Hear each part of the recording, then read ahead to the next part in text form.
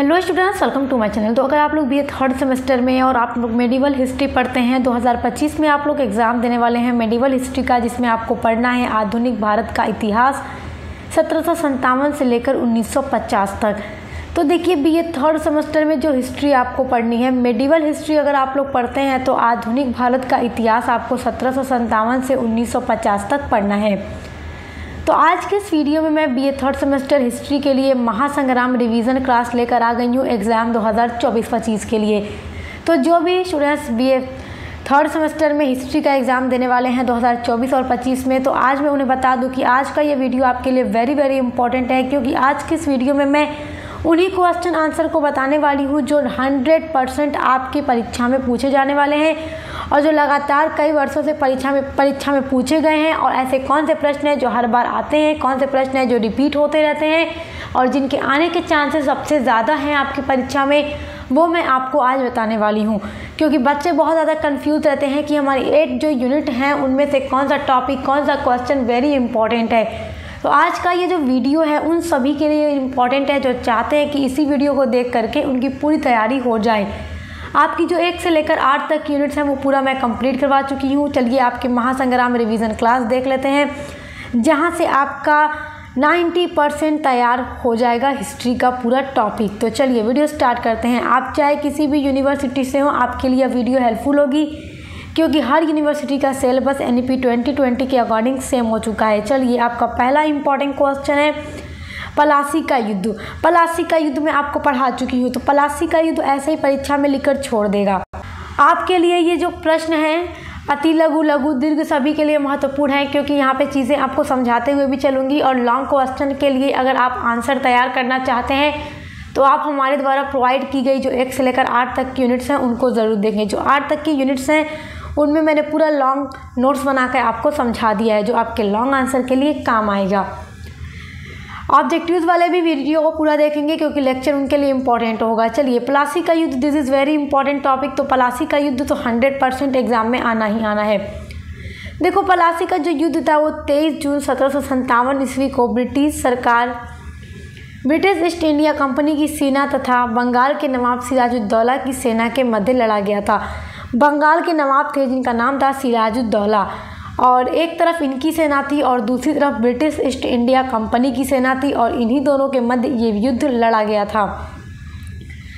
Company की सेना का जो नेतृत्व है वो लॉर्ड क्लाइव कर रहा था। लॉर्ड क्लाइव कौन था? गवर्नर था ब्रिटिश और ये कंपनी की सेना को नेतृत्व कर रहा था। और लॉर्ड क्लाइव ने नवाब के सेनापति मीर जाफ़र को नवाब बनाने की लालच में अपनी तरफ़ कर लिया था। देखो, बंगाल के जो नवाब सिराजुद्दौला थे, उनके ना, सेनापति का नाम था मीर जाफ़र। तो जो कंपनी, ईस्ट इंडिया कंपनी की सेना का नेतृत्व कर रहा था रॉबर्ट क्लाइव, इसने कहा, इसने इनसे कहा, मीर जाफ़र से, कि आप हमारा साथ दे दो, अपने नवाब को धोखा दे दो हम तुम्हें नवाब बनाएँगे सिराजुद्दौला को हरा देंगे युद्ध में, पलासी के युद्ध में, और उसके बाद बंगाल का नवाब हम आपको बना देंगे। तो मीर जाफ़र अब नवाब बनने की लालच में आ जाता है। अब किसी को सेनापति से ऊपर का पद दिया जाएगा तो कोई भी रहेगा, उसे लालच आएगा। तो मीर जाफ़र को लालच आ गया और ये नवाब बनने की लालच में क्या होता है? रॉबर्ट क्लाइव से जाकर मिल जाता है।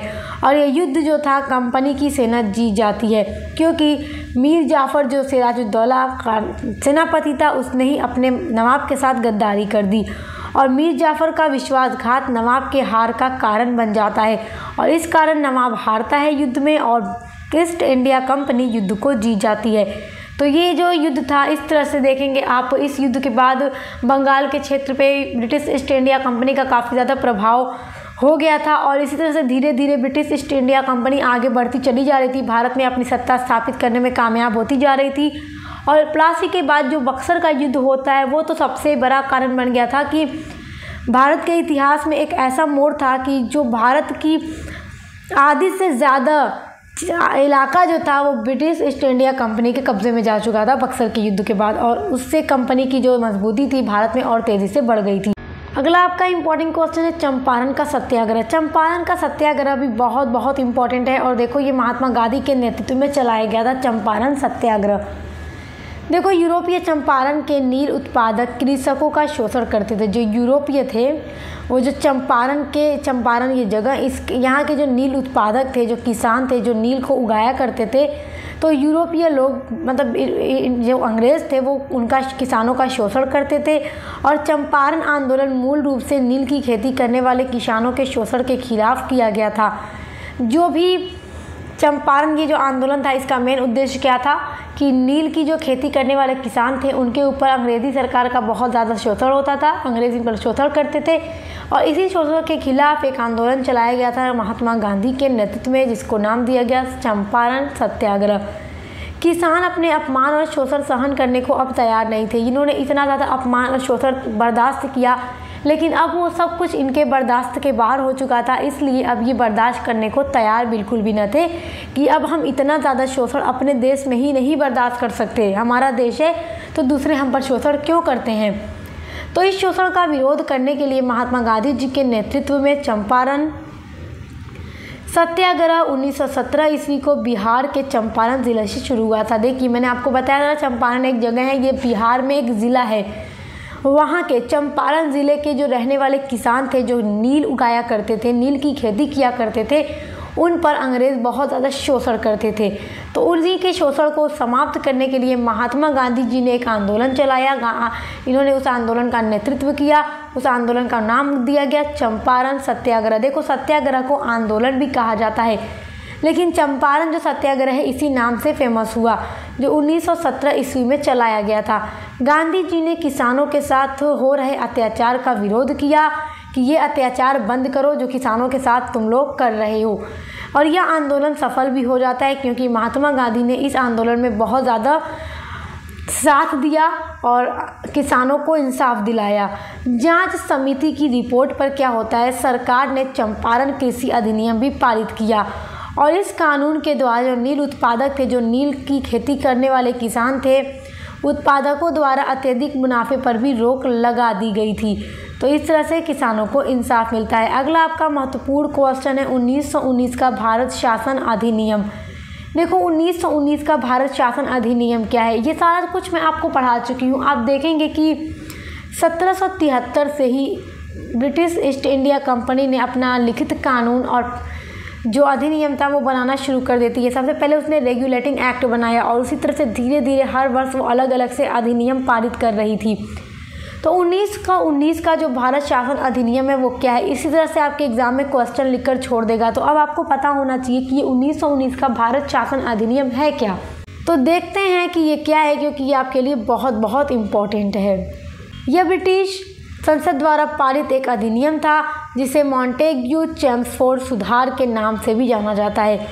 क्योंकि इस अधिनियम के पारित होने के समय लॉर्ड मॉन्टेग्यू भारत सचिव थे और लॉर्ड चैम्सफोर्ड वायसराय थे। देखो 1919 में जो भारत शासन अधिनियम ब्रिटिश संसद ने पारित किया था, उस 1919 के भारत शासन अधिनियम को एक और नाम से जाना जाता है और वो नाम है मॉन्टेग्यू चैम्सफोर्ड ये नाम इसका क्यों पड़ा? क्योंकि उस टाइम भारत सचिव जो था, उस व्यक्ति का नाम था लॉर्ड मॉन्टेग्यू और जो भारत का वायसराय था, उसका नाम था लॉर्ड चैम्सफोर्ड तो इन्हीं दोनों के नाम पर मॉन्टेग्यू और चैम्सफोर्ड के नाम पर इस अधिनियम को मॉन्टेग्यू चैम्सफोर्ड भी कहा जाता है।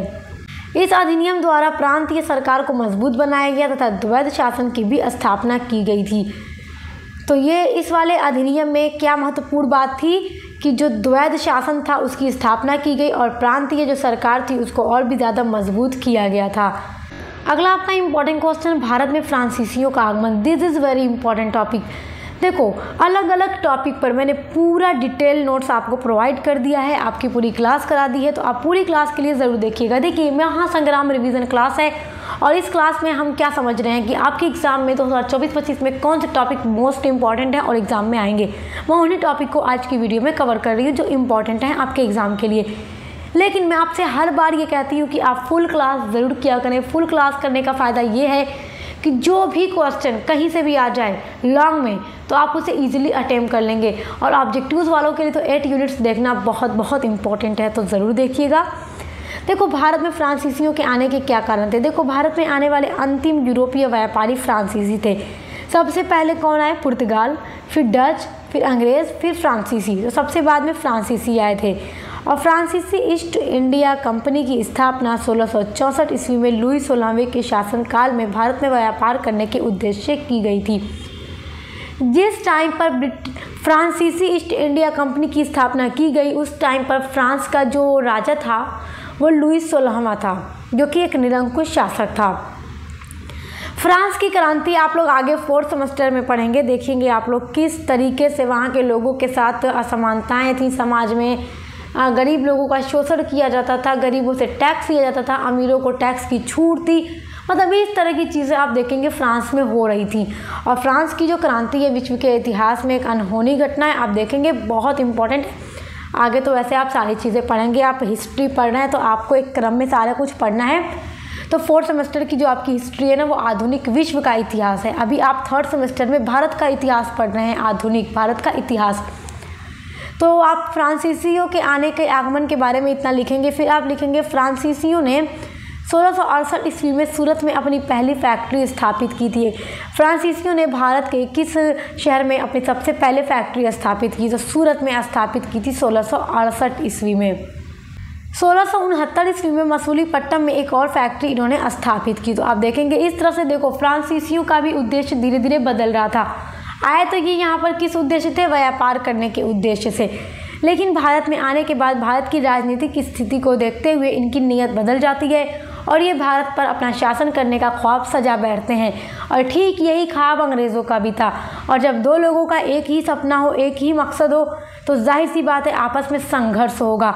तो इस संघ, इस तरह से फ्रांसीसी और अंग्रेज़ों के बीच में भी संघर्ष हुआ था, जिसे इतिहास में कर्नाटक के युद्ध के नाम से जाना जाता है और कर्नाटक का युद्ध तीन बार हुआ था।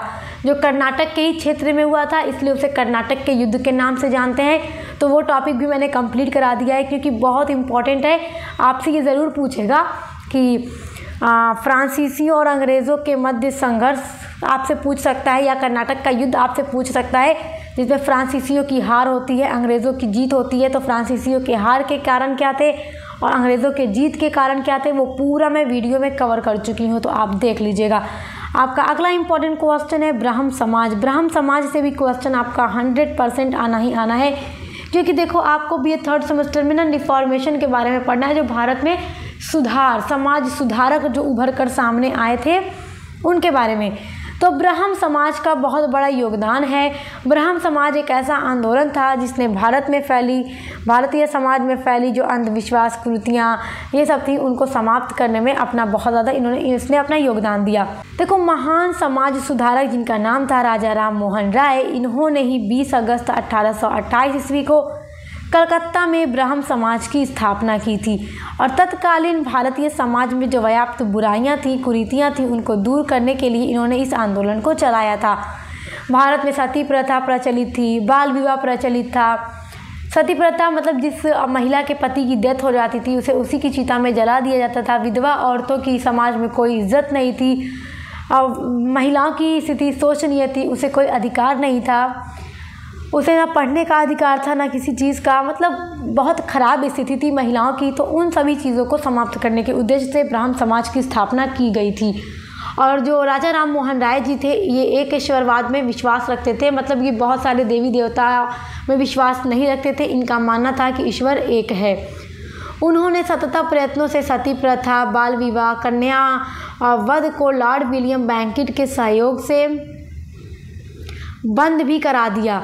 और विधवा विवाह को प्रोत्साहन देने का भी काम किया क्योंकि जिन महिलाओं के पति की डेथ हो जाती थी वो विधवा हो जाती थी उन्हें उन्हीं की चिता में जला दिया जाता था। तो आ, राजा राम मोहन राय जी ने क्या किया लॉर्ड विलियम बैंकिट की सहायता से इन सब चीज़ों को बंद कराया और विधवा पुनर्विवाह को भी इन्होंने प्रोत्साहन दिया कि जिस महिला के पति की डेथ हो जाए उसे समाज में रहने का अच्छे से और दूसरी शादी करने का भी पूरा पूरा अधिकार है। तो इस तरह आप देखेंगे कि महिलाओं की स्थिति को ऊपर उठाने के लिए भी राजा राम मोहन राय जी ने बहुत अच्छे काम किए थे और इनके ब्रह्म समाज का इसमें काफ़ी ज़्यादा योगदान है। इन सब पर मैं फुल डिटेल क्लास अपलोड कर चुकी हूँ, जहाँ से आपका लॉन्ग आंसर तैयार होगा तो आप ज़रूर देखिएगा, क्योंकि ये टॉपिक आपके लिए वेरी वेरी इंपॉर्टेंट है। शॉर्ट में पूछेगा तो आप इतना ही लिख दीजिएगा जितना मैंने इस वीडियो में बताया है। अगर ये लॉन्ग में पूछ दे तो ज़ाहिर सी बातें पूछेगा, जब इंपॉर्टेंट है तो लॉन्ग या शॉर्ट किसी में भी पूछ सकता है। तो आप हमारे द्वारा कराई गई जो यूनिट्स हैं, उनकी वीडियोज़ देख लीजिएगा। अगला इंपॉर्टेंट क्वेश्चन हम देखेंगे आपका। अगला इंपॉर्टेंट क्वेश्चन है, बक्सर का युद्ध। This is very important Buxar का युद्ध और प्लासी का युद्ध एकदम लिख कर रख लीजिए कि हंड्रेड परसेंट ये आपसे पूछा ही पूछा जाएगा। देखो, मैंने आपसे क्या बताया था कि पलासी का जो युद्ध हुआ था, उसमें मीर जाफ़र जो था, उसने अपने नवाब सिराजुद्दौला को धोखा दे दिया, जिससे वो हार गए और अंग्रेज़ जीत गए। बक्सर का युद्ध देखते हैं। बक्सर का युद्ध मीर कासिम की सेना, अवध के नवाब शुजाउद्दौला और तत्कालीन मुगल बादशाह शाह आलम द्वितीय की संयुक्त सेना और ईस्ट इंडिया कंपनी की सेना के मध्य लड़ा गया था और ईस्ट इंडिया कंपनी की सेना का नेतृत्व हेक्टर मुनरो कर रहा था। अब देखेंगे बक्सर का युद्ध किसके मध्य लड़ा गया? तो देखो, मीर कासिम, जो कि उस टाइम पे क्या थे? बंगाल के नवाब थे। इनकी सेना थी। अवध जो था, अवध के नवाब जी का नाम शुजाउद्दौला था। आप ये मत सोचिएगा कि सिराजुद्दौला, जो पलासी के युद्ध में था, यहाँ पे दूसरा नवाब है। शुजाउद्दौला नाम है। नाम देखिए। शुजाउद्दौला। शुजाउद्दौला। और उस टाइम पर मुग़ल बादशाह कौन थे? शाह आलम द्वितीय। तो मीर कासिम पहुँचते हैं अवध। अवध जा से अवध जा कर ये अवध के नवाब शुजाउद्दौला से कहते हैं, अपनी सेना को मेरी सेना में मिलाओ और अंग्रेज़ों के खिलाफ युद्ध लड़ते हैं। युद्ध में जीतेंगे और अंग्रेज़ों को यहाँ से खदेड़ देंगे। तो ये शुजाउद्दौला तैयार हो जाते हैं। उसके बाद ये तत्कालीन मुग़ल बादशाह शाह आलम द्वितीय के पास दोनों जाते हैं। मतलब क्या होता है कि ये तीनों लोग मिल करके अपनी एक संयुक्त सेना बनाते हैं। मीर कासिम, शुजाउद्दौला और मुग़ल बादशाह शाह आलम द्वितीय तीनों की सेना एक तरफ़। अब ये तीन लोग हैं एक तरफ़ और इनके आमने सामने खड़ी है ईस्ट इंडिया कंपनी। तो इनके बीच ये युद्ध लड़ा गया था। मगर देखो, ये युद्ध हुआ था 22 अक्टूबर या 23 अक्टूबर। अच्छा देखो कहीं कहीं पर ना ये 22 अक्टूबर दिया जाता है कि युद्ध लड़ा गया था। कहीं कहीं पर 23 अक्टूबर लिखा रहता है। तो ऑब्जेक्टिव्स वाले बच्चों को कन्फ्यूज़न हो जाएगी ना कि मैम हम कौन सा टिक करेंगे एग्ज़ाम में? देखो, अगर ऑप्शन में तेईस और बाईस, दोनों ना देकर सिर्फ़ बाईस दे दे तो आप बाईस कर दीजिएगा, तेईस दे दे तो तेईस कर दीजिएगा। और अगर कोई और दे दे तो आप कोई भी कीजिएगा, क्योंकि देखो, दोनों जगह दोनों देता है कहीं कहीं तो ठीक है, दोनों चल जाएगा। तो आप अगर बाईस सिर्फ़ देगा पेपर में ऑब्जेक्टिव में तो आप बाईस पे ही टिक करिएगा। ये मत सोचिएगा कि अरे तेईस नहीं दिया है तो बाईस गलत ना हो जाए, ठीक है? और तेईस देगा तो आप तेईस पर टिक कर दीजिएगा। तो तेईस अक्टूबर सत्रह सौ चौंसठ ईस्वी को ये मीर कासिम की संयुक्त सेना और ईस्ट इंडिया कंपनी की सेना के मध्य लड़ा गया। ये युद्ध था, जिसे बक्सर के युद्ध के नाम से जाना जाता है। इस युद्ध में मीर कासिम की नेतृत्व वाली जो सेना थी, वो अंग्रेज़ों की सेना से हार जाती है। तीन लोगों की संयुक्त सेना, एक तरफ़ अंग्रेज़, तब भी ये लोग हार जाते हैं और अंग्रेज़ देखो जीत जाते हैं। यह युद्ध भारत के इतिहास में एक ऐसा मोड़ था कि अंग्रेज़ों की जो शक्ति थी उसमें और भी ज़्यादा वृद्धि हो गई और भारत में ब्रिटिश शासन और तेज़ी से उभरता है। आप देखेंगे कि बक्सर के युद्ध के बाद इलाहाबाद की संधि होती है, इलाहाबाद की संधि दो बार होती है। एक शुजाउद्दौला अवध के नवाब और के बीच होती है और दूसरी संधि मुग़ल बादशाह शाह आलम द्वितीय के साथ की जाती है, जिससे कि ये लोग अपने कई सारे इलाकों को, अंग्रेज़ों को लौटाते हैं। संधि की शर्त यही थी। और इलाहाबाद की पूरी संधि पर भी मैंने एक वीडियो बनाकर प्लेलिस्ट में ऐड कर दिया है तो आप देख लीजिएगा। ये जो बक्सर का युद्ध था, इतिहास में एक ऐसा मोड़ था कि अंग्रेज़ों की शक्ति बहुत तेज़ी से उभरती है, बढ़ती है और भारत के अधिकतर क्षेत्र में इनका प्रभाव बढ़ जाता है। और अंग्रेज़ों का जो यहाँ पे पावर था, बहुत ज़्यादा बढ़ जाता है, जिससे इनकी शक्ति तेज़ी से बढ़ती जाती है और ये भारत पे शासन और तेज़ी से करने लगते हैं। तो इसलिए भारत में बक्सर के युद्ध का जो मोड़ है, वो बहुत अजीब है। एक ऐसा मोड़ कि ब्रिटिश सरकार बहुत मज़बूत हो गई। तो बक्सर के युद्ध भी आप तैयार ज़रूर कीजिएगा। This is very important topic अगला आपका इंपॉर्टेंट क्वेश्चन है अपव्यय और अवरोधन, ये आपके लिए एट्टी परसेंट इंपॉर्टेंट है, ठीक है? चलो देख लो। अपव्यय और अवरोधन क्या होता है? देखो, हर टांग समिति के अनुसार ये डेफिनेशन है कि अपव्यय से हमारा अभिप्राय होता है प्राथमिक शिक्षा। और पूर्ण होने से पहले बालकों को विद्यालय की किसी भी कक्षा से हटा लेना है। जबकि अवरोधन जो है उसका क्या अर्थ है? अवरोधन का अर्थ है कि किसी बालक को किसी निम्न कक्षा से, यानी छोटी निम्न कक्षा से एक वर्ष से अधिक अवधि के लिए रोका जाना है और हरटांग समिति ने अपव्यय और अवरोधन को प्राथमिक शिक्षा की सबसे बड़ी समस्या बता दी है। अंत में समिति ने इस, इनके निराकरण के भी सुझाव दिए हैं। तो ये आपके लिए उतना इम्पोर्टेंट नहीं है। चलिए आगे बढ़ते हैं। अगला आपका इम्पोर्टेंट क्वेश्चन है महाड़ वाली व्यवस्था। महाड़ वाली व्यवस्था देखो महाड़ वाली जो व्यवस्था है, इस पर भी मैंने वीडियो अपलोड कर दी है। ब्रिटिश शासनकाल में जो भू राजस्व प्रणालियाँ थी, भू राजस्व प्रणाली का मतलब कर वसूलने की जो व्यवस्था थी ब्रिटिश शासनकाल में, वो कैसी थी? तो देखो, सबसे पहले इन्होंने महालवाड़ी व्यवस्था ले आई। अलग अलग से रैयतवाड़ी व्यवस्था महालवाड़ी व्यवस्था स्थायी बंदोबस्त, तीन तरह की ये जो भू राजस्व प्रणालियाँ थी, ब्रिटिश सरकार में आई थी। तो महालवाड़ी व्यवस्था आपके लिए इंपॉर्टेंट है। तो आप इसको देख लीजिए कि आप आ जाए एग्ज़ाम में तो कैसे अपना आंसर लिखेंगे, क्योंकि ये आपके लिए वेरी वेरी इंपॉर्टेंट है। इस व्यवस्था के अंतर्गत भू राजस्व प्रणाली खेत के स्थान पर प्रति ग्राम या जागीर के आधार पर निर्धारित किया गया था।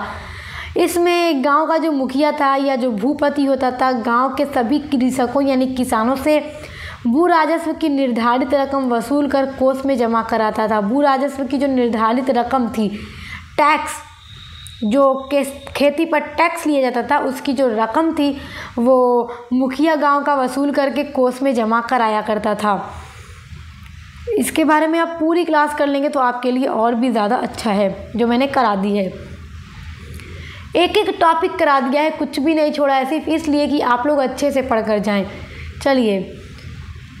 समस्त महाल या ग्राम सम्मिलित रूप से राजस्व जमा करने हेतु उत्तरदायी थे और यह प्रथा 1801 ईस्वी में अवध के क्षेत्र में और 1803 से 4 ईस्वी के में मराठा क्षेत्र में लागू की गई थी। पहले अवध के क्षेत्र में इसको लागू किया गया, उसको बाद उसके बाद मराठा क्षेत्र में भी इसको लागू कर दिया गया था। ये क्वेश्चन आप ज़रूर तैयार कीजिएगा। अगला आपका इम्पोर्टेंट क्वेश्चन है, भारत में डेनिश कंपनी की स्थापना का वर्णन कीजिए। भारत में जो डेनिश कंपनी आई, उसकी स्थापना का वर्णन। This is very important topic देखो, जितनी भी कंपनियाँ भारत में आई थी, उनका जो पूरा क्रम है आने का, वो आपको याद करना है, कहाँ पे फैक्ट्री अपनी स्थापित की, वो आपको पता होना है किस कारण से ये भारत में आए थे। तो जो सबसे पहली वीडियो मैंने अपलोड की है यूनिट नंबर वन का पार्ट वन वो आप ज़रूर देखिएगा। किस पर्पज़ से ये आए थे, क्यों आए थे, कैसे आए थे और कैसे समुद्री मार्ग की खोज भारत आने के लिए की गई वास्को डिगामा के द्वारा, जो पुर्तगाली नाविक था।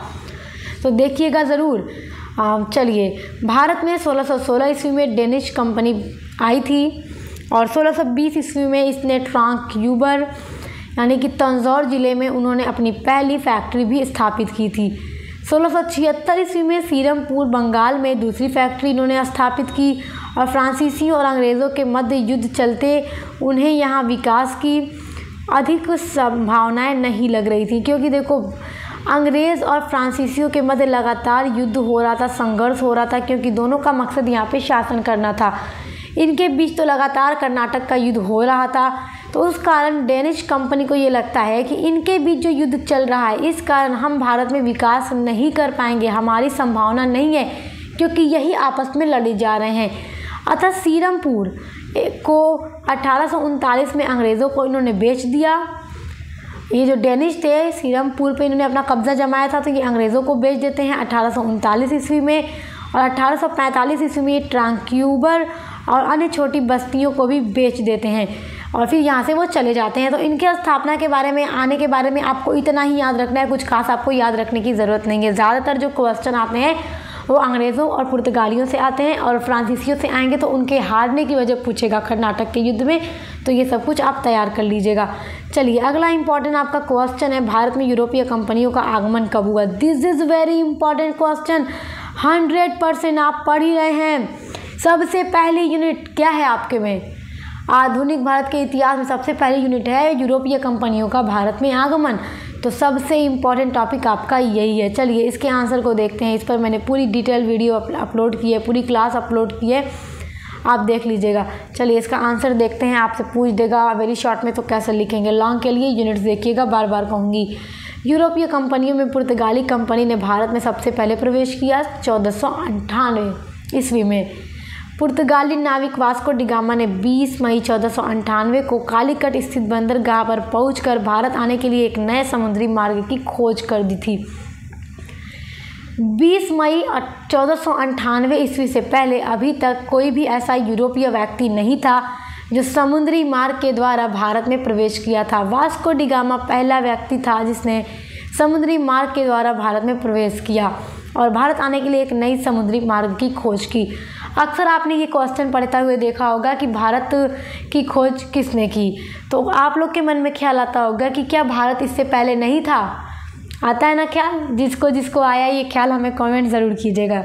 ठीक है? मैं भी तो देखूँ, हमारे किस स्टूडेंट्स के मन में ये ख्याल आया है। चलिए आपकी मैम ये डाउट क्लियर करती हैं। देखो भारत की तो खोज भारत तो हमेशा से था और ऐसा नहीं है कि आज से पहले, जैसे 20 मई चौदह में वास्को डिगामा भारत व्यापार करने के उद्देश्य से आए तो ऐसा नहीं है कि इससे पहले यूरोपियों का व्यापार भारत के साथ नहीं होता था। बिल्कुल होता था, मगर स्थल मार्ग से होता था।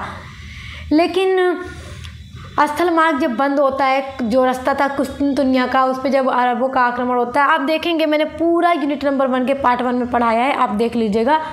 तो उसके बाद स्थल मार्ग जो था ब्लॉक हो जाता है, बंद हो जाता है। तो अब यूरोपीय लोग भारत के साथ व्यापार करके काफ़ी मात्रा में लाभ कमाते थे। तो इसलिए इन्हें भारत के साथ व्यापार करने के लिए ये बहुत ज़्यादा क्या थे? प्रेरित थे कि कब भारत पहुँचे। तो क्या होता है कि वास्को डिगामा खोज करते हैं 20 मई चौदह में। इससे पहले कोलंबस निकलते हैं। भारत की खोज करने के लिए, मगर वो अमेरिका मतलब वो, आप देखेंगे पहले टाइम में मैप नहीं होता था ना कि मैप देखकर आदमी सही दिशा में चला जाए। तो कोलंबस भारत समझकर आते हैं, लेकिन वो अमेरिका नई दुनिया की खोज करते हैं। उसके बाद वास्को डिगामा निकलते हैं और ये भारत की खोज करके फाइनली बीस मई चौदह को भारत पहुँच जाते हैं और समुद्री मार्ग की खोज कर देते हैं। इस तरह से भारत में यूरोपीय कंपनियों का आगमन शुरू हो गया था। तो अतः उसी के पश्चात समुद्री मार्ग के द्वारा भारत में यूरोपीय कंपनियों का आना शुरू हो गया। अगला क्वेश्चन देखेंगे, भारत में कंपनियों के आगमन का क्रम क्या था? आप क्रम याद कर लीजिएगा, ये क्वेश्चन मैंने इस महासंग्राम क्लास में इसलिए शामिल कर दिया है कि मैं क्रम आपको याद करवा दूँ। देखिए, चार यूरोपीय कंपनियाँ भारत में आई, सबसे पहले पुर्तगाल, फिर डच, फिर अंग्रेज़, फिर फ्रेंच। आने का क्रम है पुर्तगाल, डच, अंग्रेज़, फ्रेंच। मेरे साथ रिकॉल कीजिए, पुर्तगाल, डच, अंग्रेज़, फ्रेंच। पुर्तगाल आए चौदह में, डच आए पंद्रह में, अंग्रेज़ आए 1600 में, फ्रेंच आए सोलह में। इतना याद कर लिए, आगमन का क्रम याद कर लिया? हाँ बहुत बढ़िया। इसीलिए मैंने शामिल किया ये क्वेश्चन ताकि आप इसको एकदम रट लें। बहुत इंपॉर्टेंट है। चलिए, अगला आपका इंपॉर्टेंट क्वेश्चन है, अंग्रेज़ों की सफलता के प्रमुख कारण बताइए। अंग्रेज़ों की सफलता के प्रमुख कारण क्या थे? किस सफलता की बात हो रही है? फ्रांस और अंग्रेज़ों का जो संघर्ष हो रहा था कर्नाटक के युद्ध में अंग्रेज़ों की सफलता के कारण क्या थे? मतलब कैसे भारत में इनकी विजय होती है और फ्रांसीसियों की हार हो जाती है? आप देखेंगे जो जो रिसोर्सेज फ्रांसीसियों के पास नहीं थे, वो रिसोर्सेज जो थे अंग्रेज़ों के पास थे। कर्नाटक के युद्ध में मैंने पढ़ाया भी है आपको। क्वेश्चन इंपॉर्टेंट है, बड़े ध्यान से समझिएगा। देखो, पहला था कि अंग्रेज़ों की उन्नत व्यापारिक स्थिति के कारण उनकी स्थिति अच्छी थी और युद्ध लड़ने के लिए स्थिति भी अच्छी होना ज़रूरी है।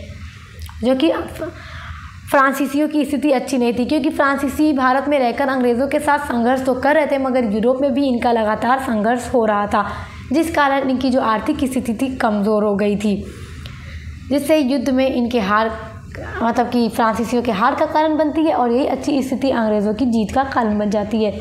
दूसरा जीत का इनका कारण था कि ईस्ट इंडिया कंपनी का स्वतंत्र रूप था, वह स्वयं निर्णय लेने के लिए मतलब निर्णय लेने की स्थिति में थी। देखो, इनका युद्ध हो रहा था फ्रांसीसियों के साथ। तो फ्रांसीसी जो कंपनी भारत में आई थी, वो स्वयं कोई भी निर्णय नहीं ले सकती थी अंग्रेज़ों के खिलाफ। जो सरकार फ्रांस में थी, वो निर्णय लेकर भारत भेजती थी तो वो निर्णय, उसी निर्णय पे काम करती थी फ्रांसीसी ईस्ट इंडिया कंपनी। जबकि ईस्ट इंडिया कंपनी जो भारत में थी, अंग्रेज़ों की ईस्ट इंडिया कंपनी, वो स्वयं निर्णय बनाकर फ्रांसीसियों के खिलाफ युद्ध लड़ती थी। तो जब ज़ाहिर सी बात है वो फ्री होगी निर्णय लेने के लिए तो अपने हिसाब से, अपनी ज़रूरत के अकॉर्डिंग नीतियाँ बना बना के युद्ध लड़के जीत जाएगी, जो कि फ्रांसीसियों के पास ऐसी कोई फ्रीडम थी नहीं, जिस कारण वो हार जाते हैं। ईस्ट इंडिया कंपनी जीतती है, अंग्रेज़ जीतते हैं। अंग्रेज़ों की जीत का तीसरा कारण था कि इंग्लैंड की सरकार द्वारा आवश्यक सहायता मिलने के कारण ईस्ट इंडिया कंपनी की स्थिति सुदृढ़ थी। युद्ध किससे हो रहा है? फ्रांसीसियों से। तो इंग्लैंड की जो सरकार थी आवश्यक पड़ने पर, ज़रूरत पड़ने पर वो अंग्रेज़ों की मदद भी करती थी भारत में, जिससे वो युद्ध में जीत सकें। मगर जो फ्रांसीसी भारत में अंग्रेज़ों के साथ युद्ध लड़ रहे थे तो जो अंग्रेज़ सर, जो अंग्रेज़ सरकार थी, वो तो अपने अंग्रेज़ों की मदद कर रही है, इंग्लैंड सरकार कर रही है, लेकिन फ्रांस की सरकार जो थी, फ्रांस का जो राजा था, वो फ्रांसीसियों की मदद करने के लिए भारत में कोई मदद नहीं भेजते थे, जिस कारण अंग्रेज़ जीतते हैं, फ्रांसीसियों की हार हो जाती है। चौथा, अंग्रेज़ों की जीत का कारण है कि अंग्रेज़ों की नौसैनिक शक्ति सबल थी, जिनके कारण उनको लगातार सफलता मिल रही थी। इनके पास अच्छे अच्छे सैनिक थे जो युद्ध को जीत जाते थे। तो ये सारे चार महत्वपूर्ण कारण हैं अंग्रेज़ों के जीत के, जिससे वो जीत जाते हैं और फ्रांसीसी हार जाते हैं। ये क्वेश्चन आपके लिए बहुत इंपॉर्टेंट है। अगला आपका इंपॉर्टेंट क्वेश्चन है, भारत में किस यूरोपीय शक्ति का भारत में सबसे पहले आगमन हुआ था? तो कौन सी यूरोपीय शक्ति भारत में सबसे पहले आई थी? तो देखो, यूरोपीय शक्तियों में पुर्तगाली कंपनी ने भारत में सबसे पहले प्रवेश किया और भारत के लिए नई समुद्री मार्ग की खोज भी पुर्तगाली व्यापारी वास्को डिगामा ने 20 मई चौदह ईस्वी में की थी और भारत के पश्चिमी तट पर स्थित बंदरगाह, जो कालीकट है, वहाँ पर पहुँचते हैं। और वास्को डिगामा का स्वागत उस समय कालीकट के जो तत्कालिक शासन थे, जिनका नाम था जमोरीन उन्होंने वास्को डिगामा का स्वागत भी किया था। तो भारत में आने वाली पहली यूरोपीय शक्ति या यूरोपीय कंपनी पुर्तगाल थे, याद रखिएगा। अगला आपका इंपॉर्टेंट क्वेश्चन है। मुगल दरबार में आने वाला पहला अंग्रेज़ कौन था? तो कैप्टन हॉकिंस था। ये नोट कर लीजिए इंपॉर्टेंट क्वेश्चन है, इसलिए मैंने इस महासंग्राम रिवीजन क्लास में इंक्लूड कर दिया। अगला आपका इंपॉर्टेंट क्वेश्चन है, मार्ले मिंटो सुधार।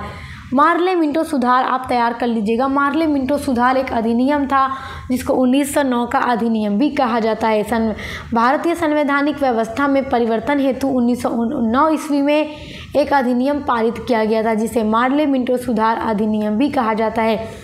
और पहली बार भारत में पृथक निर्वाचन प्रणाली की शुरुआत भी की गई थी। मार्ले मिंटो सुधार को 1909 का अधिनियम कहा जाता है। नोट कर लीजिएगा। अगला आपका इंपॉर्टेंट क्वेश्चन है रेगुलेटिंग एक्ट सबसे पहला जो एक्ट बनाया गया, वो था रेगुलेटिंग एक्ट आपने अभी 1909 का अधिनियम देखा मार्लियामेंटो सुधार, जो कि इंपॉर्टेंट है, और सबसे पहला जो एक्ट बनाया गया था, वो था रेगुलेटिंग एक्ट जो सत्रह सौ तिहत्तर में बनाया गया था। सन सत्रह सौ तिहत्तर का regulating act British East India company की गतिविधियों से संबंधित पहला संसदीय कानून था। पहला, अभी तक ब्रिटिश ईस्ट इंडिया कंपनी ने कोई ऐसा अधिनियम नहीं बनाया था जो लिखित हो। और ये क्वेश्चन आपके लिए बहुत बहुत इंपॉर्टेंट है हंड्रेड परसेंट इंपॉर्टेंट है। टॉप लेवल का क्वेश्चन है एग्ज़ाम 2024-25 के लिए। आज किस महासंग्राम रिवीजन क्लास का हर क्वेश्चन इंपॉर्टेंट है तो आप सभी को याद कीजिएगा, किसी क्वेश्चन को इग्नोर करने की कोशिश मत कीजिएगा। और इतनी आसान चीज़ें हैं ना हिस्ट्री को आप कहानी की तरह समझो आपके लिए क्या है? सब कहानियाँ बना बना के लिख लेंगे। आप इसको जब समझेंगे ना, ये हार्ड है हार्ड है, मुझसे नहीं हो सकता तो देखो जी, कोई भी चीज़ अगर आप खुद से टफ़ बनाएँगे ना तो आपको और भी ज़्यादा टफ़ लगेगी। आप ये सोच लीजिए कि यहाँ ईजी है और हमारी मैम हमें जब कहानी की तरह समझा रही हैं तो हमारे लिए तो बहुत ईजी है। चलिए। इस अधिनियम के द्वारा बंगाल के गवर्नर को बंगाल का गवर्नर जनरल कहा जाने लगा था। बंगाल के जिसको अभी तक गवर्नर कहा जाता था, उनको बंगाल का गवर्नर जनरल अब कहा जाने लगा। रेगुलेटिंग एक्ट जब पारित हुआ, उसके बाद। और उनकी सहायता के लिए चार सदस्यीय परिषद का भी गठन किया गया था, जो गवर्नर जनरल की सहायता करेंगे। और मद्रास और बम्बई के जो गवर्नर थे, उनको बंगाल के गवर्नर जनरल के अधीन कर दिया गया। आप तो आप देखेंगे जितनी भी एक्टिविटीज़ होती थी, वो बंगाल से शुरू होती थी, क्योंकि बंगाल सबसे बड़ा प्रांत था। और देखो, जब रेगुलेटिंग एक्ट लाया गया तो बंगाल के गवर्नर को जो गवर्नर जनरल बना दिया गया और मद्रास और बम्बई प्रेसिडेंसी के जो गवर्नर थे, वो अब इनके अधीन रहेंगे। किसके? बंगाल के।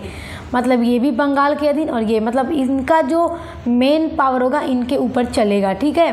तो ये रेगुलेटिंग एक्ट के थ्रू पारित हुआ था। अगला आपका इंपॉर्टेंट क्वेश्चन है, अमृतसर की संधि। अमृतसर की संधि जो कब हुई? 1809 में हुई थी। तो ये क्वेश्चन भी आपके लिए 80 परसेंट इंपॉर्टेंट है एग्ज़ाम में। देखो, अमृतसर की जो संधि थी वो 25 अप्रैल 1809 ईस्वी को रणजीत सिंह और ईस्ट इंडिया कंपनी के बीच हुई थी। किसके बीच हुई थी? रणजीत सिंह और ईस्ट इंडिया कंपनी के बीच हुई थी और उस समय लॉर्ड मिंटो प्रथम भारत का गवर्नर जनरल था। लॉर्ड मिंटो प्रथम नोट कर लीजिए। इस संधि के द्वारा सतलज पार की पंजाब की रियासतें अंग्रेज़ों के संरक्षण में आ गई और सतलज के पश्चिम में पंजाब राज्य का शासक रणजीत सिंह को मान लिया गया। तो ये संधि की शर्त थी। इसलिए संधि को आप नोट कर लीजिए इंपॉर्टेंट है। नेक्स्ट आपका इंपॉर्टेंट क्वेश्चन है Francisco de Almeida this is very important question Francisco de Almeida जो था, पुर्तगाल का वायसराय था। जिस तरह से ब्रिटिश ईस्ट इंडिया कंपनी और अंग्रेज़ यहाँ पे अपना वायसराय नियुक्त किया करते थे, वैसे ही फ्रांस जब पुर्तगाल आए थे, वो भी करते थे। तो जब पुर्तगाल यहाँ पर आते हैं, तब से पहले तो ये अपना यहाँ पर वायसराय नियुक्त करते हैं। देखो, पुर्तगाल से वायसराय आते हैं फ़र्स्ट फ्रांसिस्को डी अल्मीडा। तो ये आपके अति लघु में पूछ सकता है, फ्रांसिस्को डी अल्मीडा। इतना ही लिख के बस छोड़ देगा आपके पेपर में। अब आपको समझ जाना है कि क्या लिखना है इनके बारे में। इनके बारे में आपको लिखना है। यहाँ पे जो मैं आपको बताने वाली हूँ वेरी शॉर्ट में। वैसे तो जो मैंने क्लास कराई है, पूरा करा दिया है। हर एक पुर्तगाल वायसराय के बारे में कवर करा दिया है जो जो इम्पोर्टेंट थे। तो आपके एग्ज़ाम के लिए हंड्रेड परसेंट इंपॉर्टेंट है तो देख लो। पुर्तगाल के प्रथम वायसराय के रूप में फ्रांसिस्को डी अल्मीडा सन 1505 ईस्वी में भारत में इनका आगमन हुआ था। 1505 ईस्वी में ये भारत आते हैं। पुर्तगाल के पहले वायसराय बन गए। इनका नाम था फ्रांसिस्को डी अल्मीडा। और 1509 ईस्वी तक ये भारत में वायसराय के पद पर काम करते हैं। उसे पुर्तगाली सरकार की ओर से यह निर्देश दिया गया था कि वे भारत में ऐसे दुर्गों का निर्माण करें जिनका उद्देश्य सिर्फ़ सुरक्षा न होकर हिंद महासागर के व्यापार पर पुर्तगाली नियंत्रण भी स्थापित करना हो।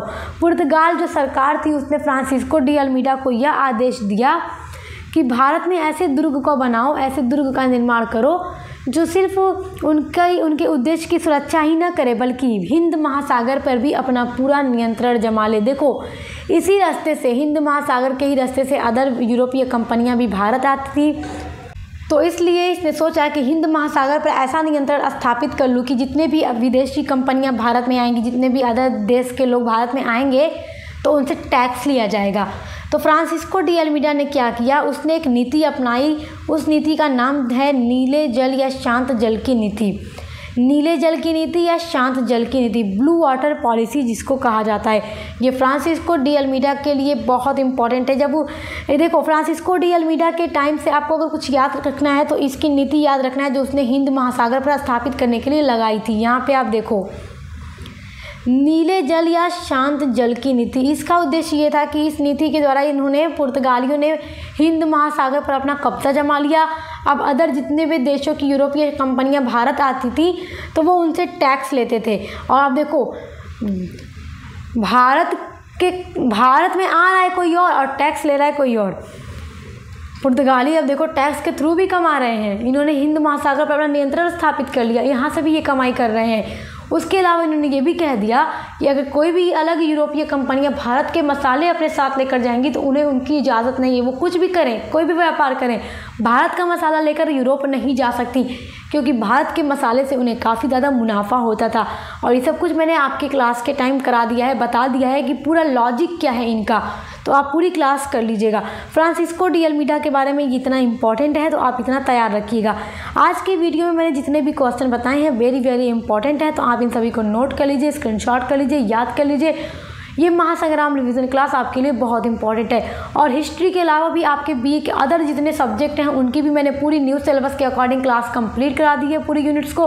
और महासंग्राम रिवीजन क्लास मैं लगातार सभी के अपलोड कर रही हूँ। तो आप हमारे चैनल पर विज़िट करके ज़रूर देखिएगा। अब मिलते हैं नेक्स्ट वीडियो के साथ।